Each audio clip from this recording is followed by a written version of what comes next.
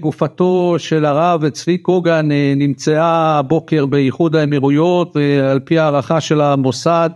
הישראלי הוא נרצח על ידי שליחים של איראן כנראה מחבלים אוזבקים שיעים שהצליחו לחטוף אותו ולרצוח אותו ואחר כך נמלטו בטיסה לטורקיה ולהערכת גורמי הביטחון בישראל יש פה שני מניעים של האיראנים המניע הראשון זה נקמה בישראל גם על התקיפה של חיל האוויר הישראלי באיראן וגם על חיסול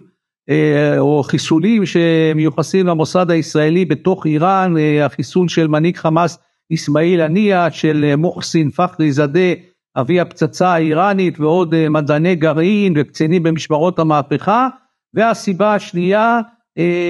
של הנקמה האיראנית זה רצון לחבל בנורמליזציה בין ישראל למדינות ערב. האיראנים